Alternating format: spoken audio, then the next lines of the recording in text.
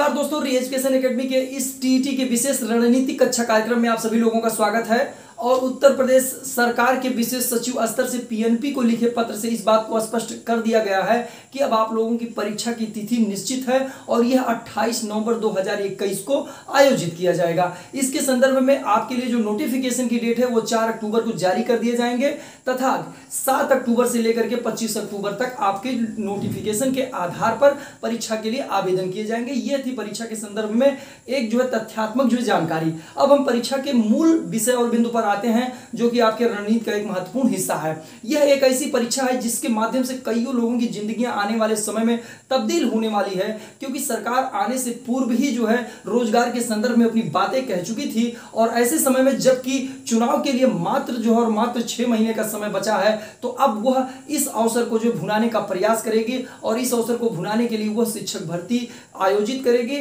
इसके माध्यम से शिक्षकों के विभिन्न पदों पर जो है भर्ती के लिए आयोजन होगा। लेकिन इस शिक्षक पद और इस मंजिल तक पहुँचने का रास्ता जो है, वो अध्यापक पात्रता परीक्षा के रूप में ही जो है आगे बढ़ेगा। तो ऐसी स्थिति में जो है, इस अध्यापक भर्ती परीक्षा के लिए पूर्व में आयोजित होने वाले सहायक अध्यापक भर्ती के लिए इस अध्यापक पात्रता परीक्षा से जो है निपटने के लिए आपको अपने समस्त रणनीतियों को जो है झोंक देना होगा, जिससे कम समय में जो है आप बेहतर अंक प्राप्त कर रहे हैं। क्योंकि जो भी यहाँ पे तैयारी होगी, वह आगे आने वाले समय में सहायक अध्यापक भर्ती परीक्षा के लिए भी जो है महत्वपूर्ण होगा, क्योंकि यहाँ पे जितने भी टॉपिक रखे गए हैं, वह वहाँ पे प्रभावी रूप से भी जो है आपके बेटेज बनाते हैं, आपके अच्छे अंक प्राप्त करने में आपका मदद करते हैं। तो ये परीक्षा आपके लिए जो है बहुत ही महत्वपूर्ण है, जिसमें आपको बिना किसी सोचे समझे, बिना किसी अपने समय को जो है बर्बाद किए, इस ईमानदारी और मेहनत से इस परीक्षा की तैयारी में लग जाना चाहिए। परीक्षा के लिए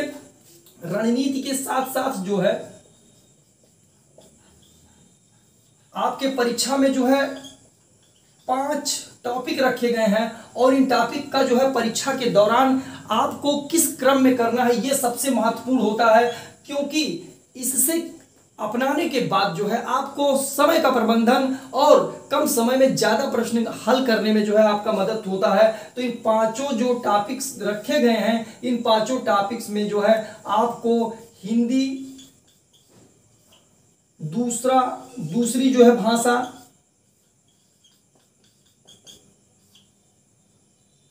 पर्यावरण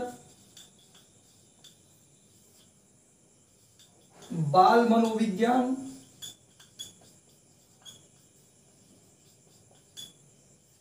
और गणित। ये प्राथमिक स्तर यानी कि एक से पाँच तक के कक्षा के लिए आयोजित होने वाले अध्यापक पात्रता परीक्षा का जो है एक प्रारूप होता है। आपको इन्हीं जो है क्रम से आपको परीक्षा में प्रश्नों को हल करना है। हिंदी दूसरी भाषा जो भी होगी वो आपके लिए जो है ज़्यादा सरल होगी क्योंकि आपके पसंद की भाषा है। तीसरे नंबर पर पर्यावरण, तथ्यात्मक और सरल प्रश्न पूछे जाते हैं। बाल मनोविज्ञान और गणित से सवाल आपको पूछे जाएँगे। हिंदी और पर्यावरण के जो है संदर्भ में मैं इतना बताना चाहूँगा कि आप टीईटी के लिए जो है री एजुकेशन एकेडमी के अंतर्गत जो आपके टीटी परीक्षा के लिए टेलीग्राम चैनल बनाया गया है। वहाँ पर हिंदी और पर्यावरण से संबंधित नोट्स डाले जा चुके हैं जो कि कम समय में आपके दोहराने के लिए परीक्षा में ज़्यादा से ज़्यादा अंक प्राप्त करने में जो है बहुत ही सहायक होगा। और इसे पुनः जो है आप लोगों की परीक्षा को ध्यान में रखते हुए पुनः जो है उस पर अपलोड कर दिए जाएँगे सेंड कर दिए जाएँगे, जहाँ से इसे जो है आपको पढ़ने में मदद मिलेगी। दूसरी महत्वपूर्ण चीज़ है दूसरी भाषा आपके पसंद की है, आपके लिए सरल होगी तो निश्चित तौर पर इसे भी जो है पढ़ने के लिए आपके पास जो भी स्टडी मटेरियल है, वो आपको जो है उसके आधार पर पढ़ना होगा। बाल मनोविज्ञान और गणित दूसरी जो है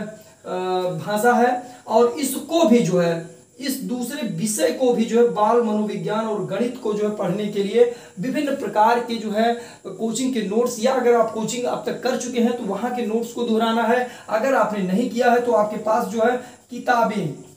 आपके पास कोई ना कोई किताब होगी और यह ऐसी किताब होगी जो कि पूरे सिलेबस को कवर करती है। तो उस किताब को आपका जो है अध्ययन करना होगा और उसके आधार पर आत्मविश्वास पैदा करना होगा कि जो आपकी परीक्षा के लिए पाठ्यक्रम निश्चित किए गए हैं, उस पाठ्यक्रम का आपने पूरा अध्ययन कर लिया। तो इस तरीके से जो है आपका पूरा का पूरा जो है पाठ्यक्रम बेहतर ढंग से जो है तैयार हो जाएगा और इस तैयारी के साथ जब एग्ज़ाम में आप जाएँगे तो वहाँ पर आपको पढ़े हुए सवाल मिलेंगे और इसके आधार पर जब पढ़े हुए सवाल मिलेंगे तो परीक्षा में अच्छे अंक प्राप्त करने में आपको मदद मिलेगी। अगली जो चुनौती है वो गणित को लेकर के है।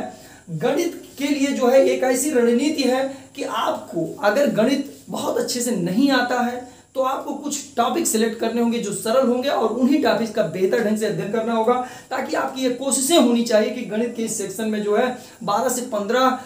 प्रश्न जो है, आप अपने प्रयास से अच्छे तरीके से हल कर सकें। तो अगर आपने जो है, इसमें 12 भी क्वेश्चन आपने हल कर लिया, और शेष जो सवाल बचे हुए हैं, उसमें आपको ये देखना होगा कि इन 12 सवालों में से हमने कौन से विकल्प को सबसे ज़्यादा सही किया है और उस विकल्प को छोड़ करके ऐसा विकल्प जो अभी तक आपने इसमें सबसे कम किया है, उस विकल्प का चयन करना होगा, जिससे दो से तीन सवाल आपके यहाँ से और भी मिल जाएँगे। यह रणनीति पूर्व में जो है जांचा और परखा गया है, जिससे अच्छे तरीके से मार्क्स प्राप्त करने में आपको मदद मिलती है। तो इस रणनीति के आधार पर आप गणित भी जो है हल कर पाएँगे। रही बात किताबों में कि कौन सी किताब पढ़नी चाहिए, कौन सी नहीं तो आपके लिए जो भी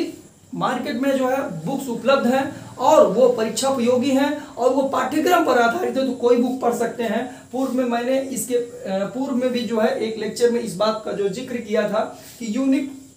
पब्लिकेशन की जो है किताबें हमने भी जो है, अपने समय में जो है अध्ययन किया था और यह किताब कॉम्पैक्ट है, परीक्षा उपयोगी है, पाठ्यक्रम पर आधारित है तो निश्चित तौर पर आपका मदद करेगी। यदि आपने पूर्व में जो है देखे गए वीडियो के आधार पर यह जो है, बुक आपने लिया है और इसका अध्ययन किया है तो निश्चित तौर पर एक बार इस किताब का पुनः अध्ययन जो है कर लीजिए। जो भी, जिन भी स्टूडेंट के पास, जो भी किताबें स्टडी मटेरियल है, केवल उन्हीं का अध्ययन करना है। नई किताबें पढ़ने के लिए अब आपके पास समय नहीं है, चाहे वो कोचिंग के स्टडी मटेरियल हो या नोट्स हो, या आपके पास जो भी पहले की किताब हो या यूनिक बुक हो, आप इसी का जो है विधिवत ढंग से अध्ययन करेंगे और इस अध्ययन के आधार पर जो है आप इसके बारे में एक आत्मविश्वास पैदा करेंगे कि हमने पूरे पाठ्यक्रम का अध्ययन कर लिया। दूसरा इंपॉर्टेंट चीज़ है पूर्व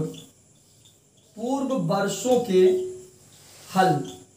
ये आपके लिए बहुत ही मददगार साबित होने वाला है। पूर्व के लेक्चर में भी हमने इस बात को स्पष्ट किया था कि पूर्व वर्षों में पूछे गए सवाल आपका किस तरीके से मदद करते हैं जहाँ पर यहाँ से पूछे गए सवाल ज्यो के त्यों परीक्षा में मिलते हैं, वही दूसरी तरफ़ आपको आगामी परीक्षा से निपटने के लिए प्रश्नों के स्तर, उसकी गहराई, उसकी कठिनाई के लेवल को बताने में भी मदद करते हैं। एक ट्रेंड आपको बताते हैं कि किस तरीके से परीक्षा में प्रश्न पूछे जा सकते हैं और उन प्रश्नों को आप किस तरीके से जो हल करते हैं और ऐसे हल करने के बाद जो है आप ज़्यादा से ज़्यादा स्कोर कर पाएँगे। यहाँ पर केवल इस परीक्षा को पास करना ही नहीं, परीक्षा में तो आपको अच्छे मार्क्स मिलेंगे ही मिलेंगे। लेकिन यहाँ पर यह भी ध्यान में रखना होगा कि आगामी जो सहायक सहायक अध्यापक भर्ती परीक्षा जिसे सामान्यतः व्यवहारिक स्तर पर सुपर टेट कहा जाता है, वहाँ पर भी इन सभी विषयों को रखा गया है जो कि आपके स्कोर को बढ़ाने में जो आपका मदद करेगा और उस परीक्षा के आधार पर या उस परीक्षा में मिले अंक ही आपके लिए निर्णायक होंगे भर्ती में, इसलिए उसे जो है आपको पढ़ना ही पढ़ना होगा।